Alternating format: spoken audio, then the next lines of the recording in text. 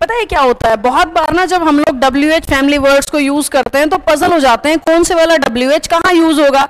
जैसे कि, अगर आपको नहीं पता तो हु सिर्फ़ वहाँ यूज़ होता है जहाँ आप किसी इंसान को, व्यक्ति को दिखाना चाहते हो।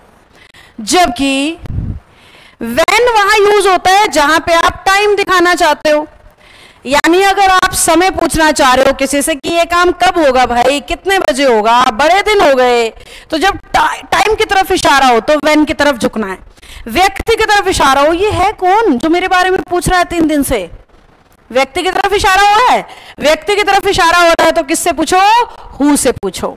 अगर हम इंग्लिश में वेयर को यूज़ कर रहे हैं, यानी कि हम जगह की बात करना चाहते हैं, जगह यानी प्लेस की बात करना चाह रहे हैं, हम ये फीलिंग लेना चाह रहे हैं कि है कहाँ पे भाई? फ़िलहाल कहाँ हुआ? बताओ तो सही। Where are you right now तो वहाँ पे वेयर लगाइए जब आप फ़िलहाल या किसी भी सेंस में जगह की तरफ़ इशारा करना चाहते हो।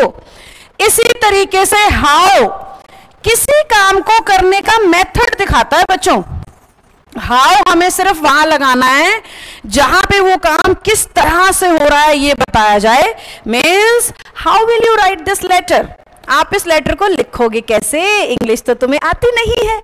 ऐसे कहते हैं ना हम तो उस सेंस में क्या यूज़ होगा बच्चों? हाउ यूज़ होगा। ठीक है? अगला डब्ल्यू एच जिसमें मैंने बच्चों को कंफ्यूज देखा है, वो है विच विच इंग्लिश में आता है? चॉइस के लिए। जब आपने चूज़ करना है मैनी बहुत सारों में से किसी एक को। वन फ्रॉम मैनी वाला जो चॉइस होता है ना, उसको कहते हैं विच सपोज़ आप लोग शॉपिंग करने चले गए, जाते रहते होगे।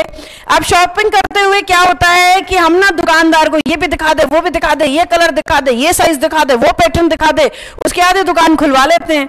और जब उसके आधी दुकान खुल चुकी होती है, फिर हम सोच रहे होते हैं, कौन सा लू, कौन सा लू, कौन सा लू? अब दुकानदार बेचारा कितना इंतज़ार करेगा? आप कह रहे हो इसमें से, चलो एक दो और दिखाओ। होता है ना ऐसा? देख लिए बड़ी एक दो और दिखाओ। तो दुकानदार बोलेगा शॉपकीपर बोलेगा, अरे भाई, पहले इसमें से एक दो चुन लो, फिर और दिखा दूँगा।